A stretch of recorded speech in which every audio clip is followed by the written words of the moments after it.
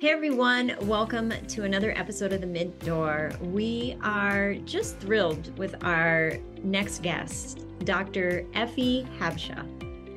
Now, Dr. Habsha earned her um, Doctor of Dental Surgery diploma in prosthodontics and Master of Science degrees from the University of Toronto. She is an adjunct assistant professor at the Department of Dentistry and at the University of Rochester. Now, Dr. Habsha currently instructs at the graduate level in prosthodontics at the University of Toronto, but she is also the founder of Women in Dentistry Work Life Balance.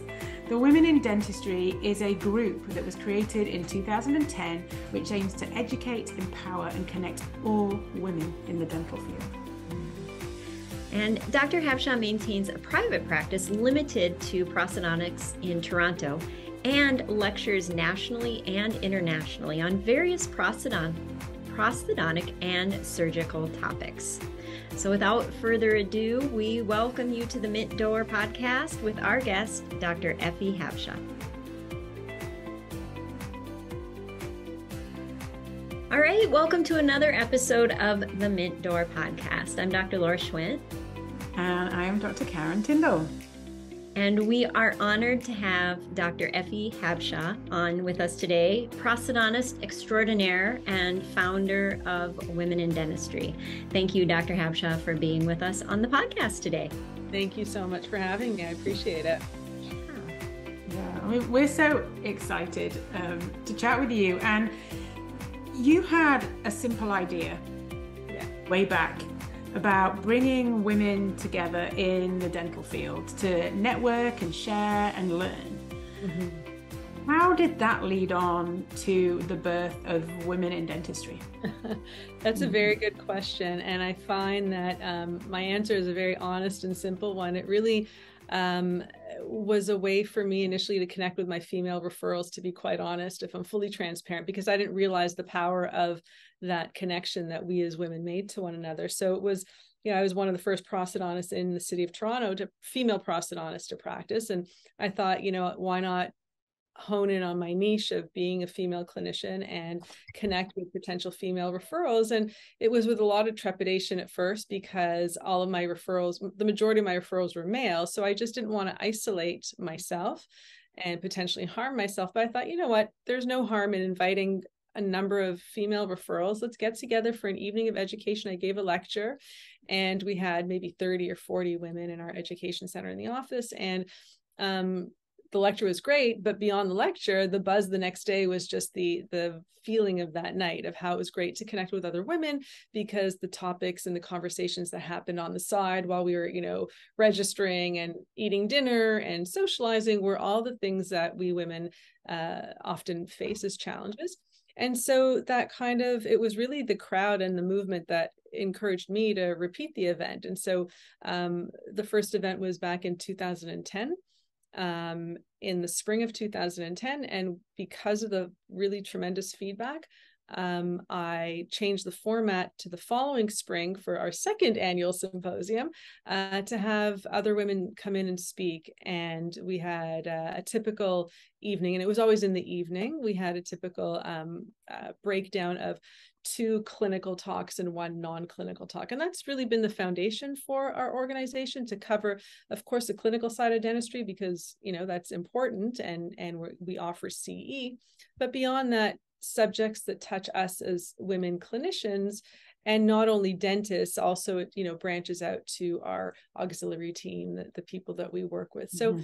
That was the birth of the um the organization. And then fast forward 13 years we're we're all over the world i think. Um and certainly you know it allows me to meet people like you that we just have gotten to connect over um, online. And, and it's just been a really wonderful collaboration. And i can't wait to host you on our platform as well. So so awesome. That, that's how we started. I love that and it, it's it's been going for many years and we'll we'll get to talking about this up well not this year's but the upcoming year's symposium yeah. and what we can look forward to that for that. But i love how you talked about balancing the the clinical with the non-clinical and um, i just know and i and i appreciate that women in dentistry stands for more than just clinical excellence and you have several other pillars can you talk about maybe some of those other pillars that are yeah. important to you and bringing that to light in women in dentistry yeah, I mean, for me, like I said, it was all an organic growth. So I sort of was able to read the room and see. I think I had a fairly good instinct as to what would resonate with with people, simply because I'm a woman myself, and you know, have a lot of colleagues and friends. And so, um, the the pillars really, I mean, if the tagline that's evolved is it has been like to educate empower and connect women in the dental field and we've done that in so many ways and even in ways which I didn't realize would end up being, um, you know, actually some pillars of the group. So what I mean to say is, you know, I featured female speakers. So yes, they were evening speakers, uh, speaking um, events, but often the speakers that might have been their first time lecturing to a, you know, a, a modest audience, whether it's 30 to 50 people, because that's how many people we were able to contain in our office. And um, in 2018, I decided to take it out of my office because we had a waiting list of people wanting to attend the event, and we were only able to occupy, like, to allow 50 people. And so we took it to a, a venue, and um, we had, uh, you know, my target number was 100 and you know i don't know if you remember the movie the field of dreams if if you build it they will come. Mm-hmm. and so i just kind of threw out a number i said i want at least 100 people. And without you know without fail we got 100 people registered. And in that audience were um, 13 corporate sponsors because it was just the interest was there. That that was right around the me too movement. So everything kind of related to women was woke.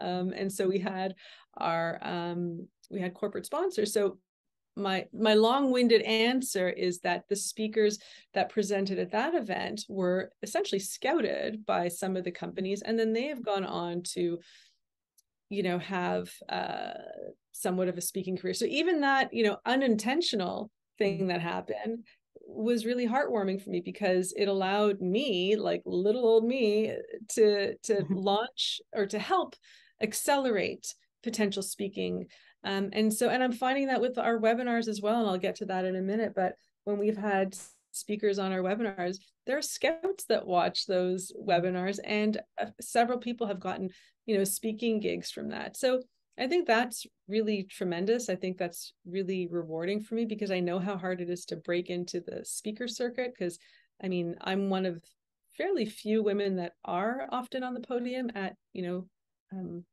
uh, prosthodontic conferences. And I had really great mentors to open the door for me, but a lot of people don't. And so mentorship is a huge pillar um, for speakers, which was unintentional. And then a very intentional uh, mentorship program was one that is uh, chaired by my dear friend Tracy Hendler, who you have interviewed as well, um, mm-hmm. where we have a mentorship program that connects women clinicians to one another. So an inexperienced or newly graduated um, or dental students with um, you know people with five years plus experience mm-hmm. so i think mentorship is a huge pillar and it's really been uh, very rewarding to see that mm-hmm. yeah i mean i'd love it if you could share with us like some of your journey of what led you into dentistry and yeah. then what led you down the road to be so passionate about teaching and mentoring. Yeah. Yeah, I mean, dentistry in general, I knew that I wanted to enter uh, to be in the health sciences, and it was you know toss up between medicine or dentistry, and I I was kind of drawn towards dentistry because the artistic side, and because to be quite honest, I thought four years and I'm done. No residency like doctors. Like I didn't want to hear that. I got into dental school and I was like just 20 or 21. I thought, okay, I'll be done by the time I'm 24 or 25. Little did I know that I'd go on to do my, you know, GPR mm-hmm. residency and and uh, specialty and so on and so forth, my master's degree. But that's kind of how I ended up in dentistry. And then again, um, just having, you know, uh, the the luxury of or the the desire to learn while I was in dental school, I happened to um, attend a lecture by given by the professor George Zarb, and um, and I was just so um, in awe of his kind of intellect. And I thought, wow, if I can work for him as a summer student, this was right after first year, mm. I'd be super happy. Uh, so I cornered him at the end of the lecture. I introduced myself and I asked him if he could uh, open if he if he had any spaces available for a summer student. And I'm sure he just created a space for me because mm-hmm. he was very big into mentorship. And that really um, his his guy. I've had a few significant mentors in my life. My first one being my dad, who is um, mm-hmm. his number one fan, and and of course my mother. But George Zarb really um, was you know instrumental in my career in prosthodontics and it just sort of evolved and he had the vision back then to recognize the need to showcase women as well because i remember him pulling into me into my office when i was a resident. At that point i'd done my four years of dental school and then a year of residency and then i was in pros and uh, I had a half-time professorial position at the U of T. And he said, Effie, we need more women like you on the clinic floor because quite frankly, all we see is old white guys. And that was so true back then. Now it's a lot more colorful, a lot more, um, a lot more uh, diverse, of course. Um, but he had that that foresight back then. And um, he was a real inspiration for me. And I kind of I love to pay that forward in whichever way I can to potentially serve as a mentor not potentially i i will own that i have mm-hmm. mentored a lot this is what we women do we kind of diminish ourselves like potentially maybe no mm-hmm. i have and i am a mentor to many and i'm very proud of it and it's not only me it's me and my you know my amazing colleagues so um so that's kind of how i ended up where i am and then again just it just sort of evolved organically and even you know teaching i've always enjoyed teaching i think i'm pretty good at it i like to relate to the student because i remember what it was like to be a student mm-hmm. and i don't know if you guys remember but you always remember the demonstrator the prof that was just so mean to you and i'm like why like there's no space for that and so i bring you know love and care and um,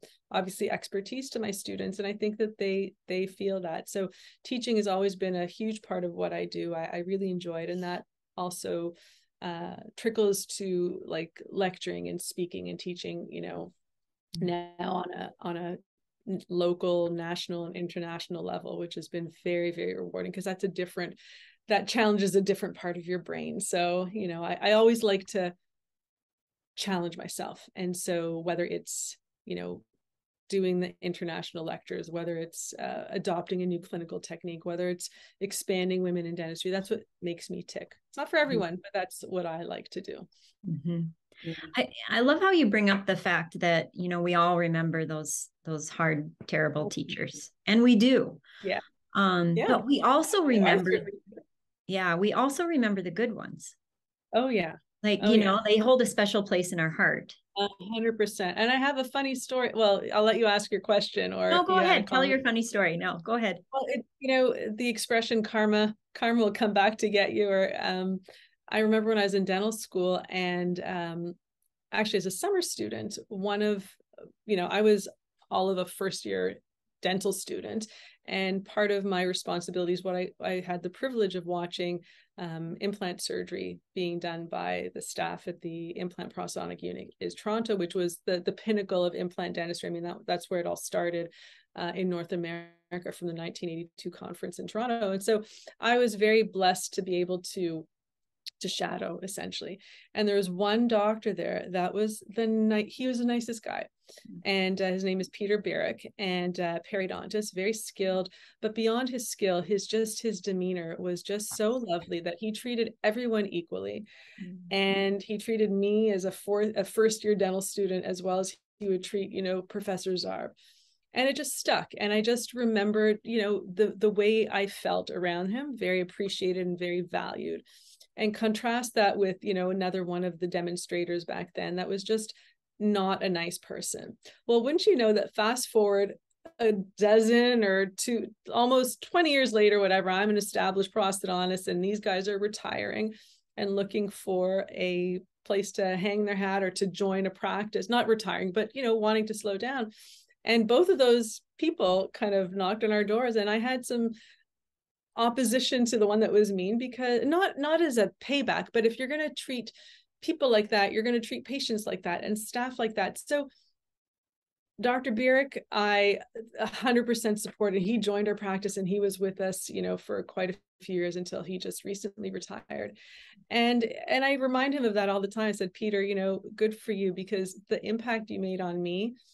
I just I don't remember what you taught me. I don't remember the details. I don't remember the scalpel that you used, but I remember how you made me feel. Mm-hmm. And that's what I want to impart to anyone I have contact with that you know, I I I love to kind of nurture and to you know i'm not not such a softy but you know i'm firm but i'm i'm very loving and i i i think i uh that shows in my teaching style so and that's one of the comments that I've gotten that I'm pretty real, but that's me in general. I I wear my heart on my sleeve and I kind of uh I tell it like it is. So yeah, but you mm. know, always be nice to people because you never know where you'll end up and that's not the reason you should be, but I think that that's just a lesson that, you know, that's how you, one should live their life to be honest. Mm-hmm. Yeah. Well, that story I love it when people tell stories that it takes me back. Mm-hmm. And then it makes me think, oh, what was my story? Or what? And it just I could just see that just played out and yeah. to the same to the to the to the guy who in oral surgery held my hand as I took my first tooth out right? like literally his hand was on my hand and we you took the tooth out that. together yeah. versus somebody else that I wish you'd have been my prosthodontic um, yeah.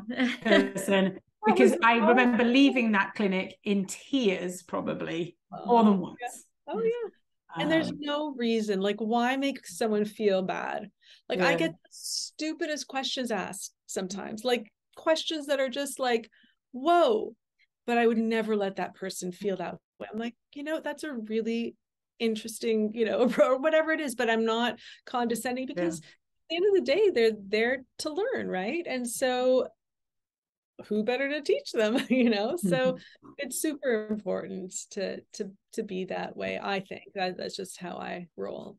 Yeah. Well and and when you're touched by those people that um, treat you in a respectful loving way it opens the door for yeah. you to uh, entertain maybe that's how i want to be in life maybe that's sure. what i maybe i'd like to teach like you know whereas if you get shut down that could yeah. shut down somebody's potential absolutely absolutely so it's again all about empowerment and that's why i think our our um, mentorship program has touched so many people in such a positive way and again i have to give the shout out to to dr hendler um, and the team at University of Toronto, the the the girls who um, match mentors and mentees because it's quite a large undertaking. But the feedback that we've got and again i didn't even realize what an impact it was until i read some of the testimonials from the mentors from the mentees but also from the mentors because we're giving people an opportunity to give back so many mm-hmm. people graduate and they move out to wherever and are not close to university they don't teach they have no mm-hmm. student mm-hmm. interaction and the amount of feedback i got from my mentors saying thank you for giving me the opportunity to help mold or to shape someone. I mean it's it's just amazing and it's just um, and that's why we have a feature on our instagram like we occasionally post um, testimonials for mentors and mentees. And it's uh it's really great. It's i think we're kind of really doing a positive things and we're we're quite impactful. Mm-hmm. yeah. That's awesome. I mean, we we both are mentors for you, Amazing. and we love like it brings us so much pleasure to be able to do, do that. Testimonial. So. Oh my God. I would love to feature you guys and to do a testimonial. So because yeah, because it brings us it brings us a lot of pleasure as well, well to be right? able to you can speak to that. Be that person. Because yeah. I mean it brought me back to something that you said about how you know when when you see people i think laura you said it when people are nice and like you can be that's how i want to be yes yeah and i have never understood the people in this world who are like, and it, it happens so much in dentistry and medicine and those professions. I had it really hard. Mm-hmm. So you have to as well. Yeah. Why that not mindset? Like, why not break that mindset? Yeah, right. Is crazy. So by doing something like this enables you to yeah. do it differently. A hundred percent. Yeah. So it is. Well, and that that just takes me right back to the beauty of women in dentistry and your vision for women in dentistry.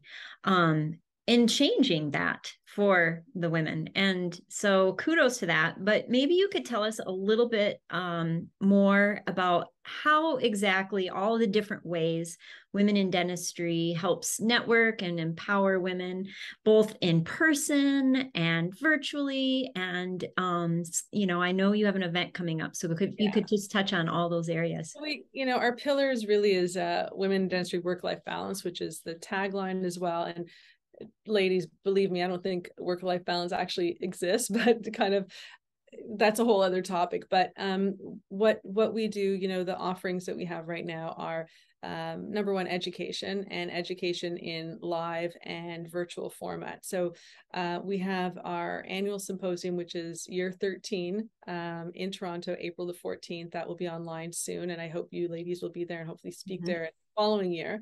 Um, but that's a really great event. And we had our first full day event last year and we we knocked it out of the park mm. um, with over 300 attendees and 45 corporate sponsors and uh, an amazing speaker lineup from all over and it, and it, and the idea is really I'm very we're very inclusive so we want the entire dental team to be there so there's content for our team members so my vision is to have this as an event for the entire female staff or the entire staff and men are invited as well. They, they can attend if they so choose we don't discriminate. Um, but uh, the the idea was bring your office with you because it's a day where you have breakfast and lunch and snacks uh, served um, but there's also educational content. So for team members the afternoon the morning is geared toward the entire dental practice with clinical as well as non-clinical topics. We have a really great psychologist coming in talking about women you know type of stuff that women um, uh, encounter and how to deal with you know various challenges anxiety stress uh, um, so on and so forth but uh, so that will appeal to the entire audience and then in the afternoon we have um, another t- separate uh, salon for team members. So we have something on aligner therapy and the patient experience or for the practice manager. So there's and the hygienist. So there's something for everyone. So that's our big kind of flagship event. And then beyond that, we have some smaller uh, in-person events, but um, we do have webinars, which again touch upon clinical and non-clinical talks. So we'll have people, you know, psychologists or communication experts or financial people come in and give a one hour webinar.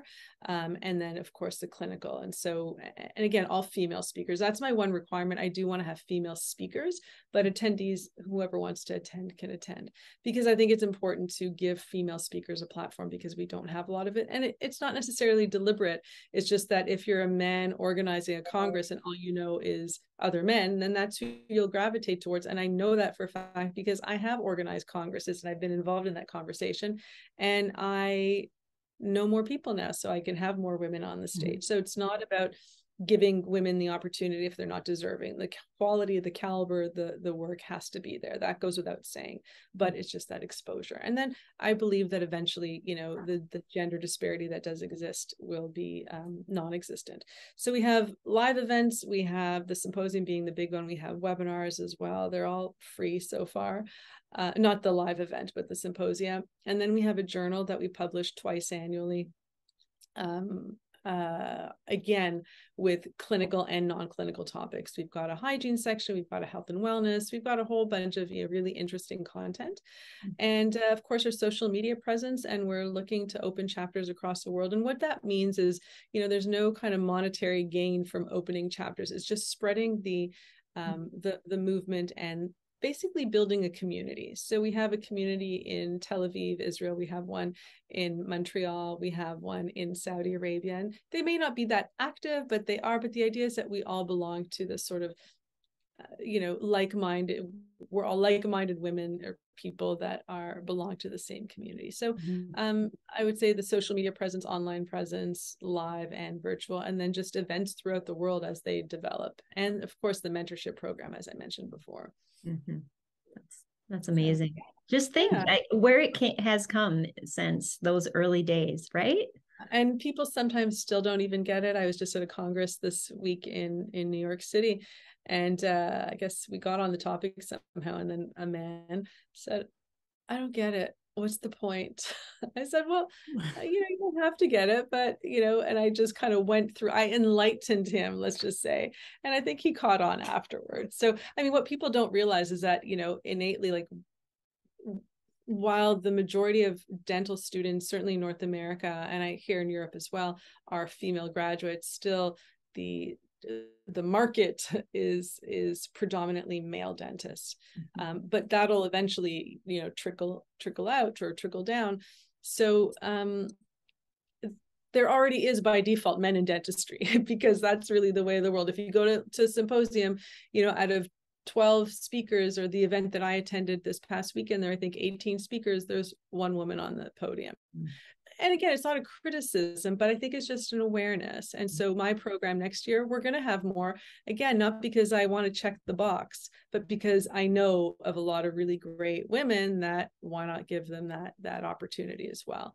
Mm-hmm. So the face of dentistry is slowly changing from the ground up. And again, I think it's just a, a gradual organic involvement or evolution and women like me like you like anne duffy from DEWS like you know leaders that kind of have spearheaded this and we're seeing a lot more women's groups developing and i think why not the more the merrier right? So there's no scarcity mentality. I, I think that you know collaboration between us is only beneficial and um and and i think it's a very exciting thing to to be a part of. So that's why i keep doing it because that's pretty much the the biggest gain. Mm-hmm.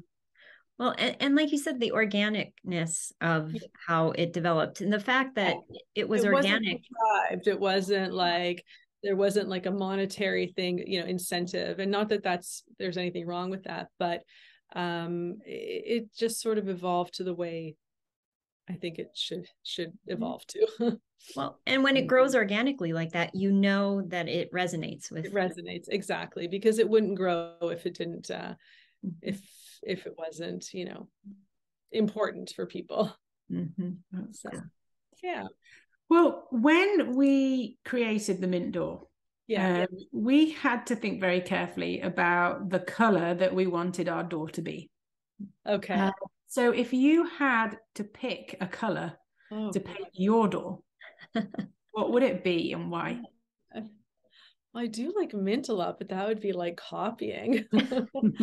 I mean, color to pick. I think the magenta kind of clearly resonates with me. I think it's powerful. I think it's sexy. I think it's, you know, bold and elegant. So that's, and that's, that tends to be the theme for our events like uh, you know there's just a, a flavor of elegance um, class uh, sophistication clean type of look. So i would say magenta. Mm-hmm. and there was a store in toronto called uh, well in canada holt renfrew. And i remember just you know back then you know we didn't have any other american department stores. But if you thought you know where do you go and shop for classy like high end stuff it was holt's. And they had a beautiful magenta bag. And i thought i like that. So mm-hmm. so that would be my color. It is a i love that color. It's cool a couple of weeks ago dress color that i bought to the symposium like yeah. I have to buy that dress because it's the right color. it's amazing. And a couple of weeks ago laura and i we were part of a fashion show uh-huh. for twice as nice uniforms okay. and a lady called deborah carrier that has that has that company and she, she asked me to wear a dental jacket in that color. Love it. And it was absolutely I loved it so much, and so many people said that is an amazing color. I have a I have a Figs uh, uh, scrub like this, but yeah. we have to get black in our office, so I I sometimes yeah. break out and wear it, but it's yeah, it's pretty you need the pop of color with you. Exactly. so I, at least I have my lanyard that uh, yeah. That's awesome. Yeah, it is a beautiful color and that and it it really does highlight I think very many different skins, skin tones and yeah. hair colors. It's a beautiful color. I color. never really thought it again. It was just like I like that color. Why don't we just go with it? But then when I when you know in retrospect looking back I'm like I like it. I like the tone of it. I like that it's powerful and sexy and you know bold and all those good things. So yeah, it's a good well, color. If you ever, if you ever see um, a suit like a jacket, yeah, and pants in that color, let me know because that is what that's on my shopping list. That's awesome. I think Zara has some stuff like that because jewel tones are very in these days. Yeah. So that's what I'm looking for. Yay. awesome. All right. So looking back at your life, we're we're curious if there is one event that you didn't expect that um, changed your life for the better. Oh my gosh. One event that I didn't expect that changed my life for the better.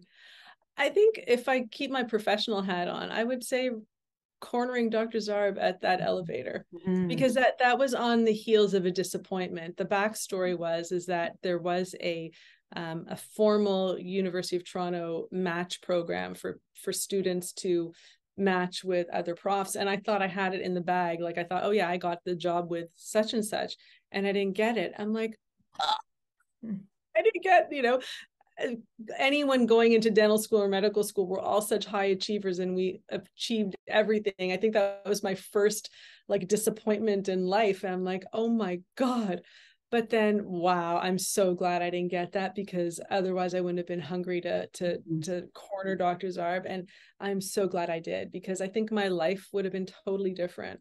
Mm-hmm. and being you know surrounded by such great mentors in in that department and you know mm-hmm. later on I, am working here be at, at mm-hmm. prosthodontic associates because my instructor in prosthodontics was dr barsley who was another mentor and he hired me as soon as i graduated from school so i think that that fortuitous moment you know cornering dr zarb at the elevator was probably a, a very uh, a very positive thing for me yeah. yeah. that's awesome thank you for sharing that backstory because i think that that you know we we often talk about those highlight reels but oh, yeah. um, we all Not have the, all the sides right and I, I mean i my biggest biggest biggest biggest accomplishment in my life and the thing that i'm most proud of is my kids mm-hmm. and i have four kids uh, eden aaron jacob and liam and um, i try to instill that in them and we can talk for hours about kids and the guilt that comes into that but that, that's another podcast. Um, but you know where was i going with that? That's my biggest accomplishment.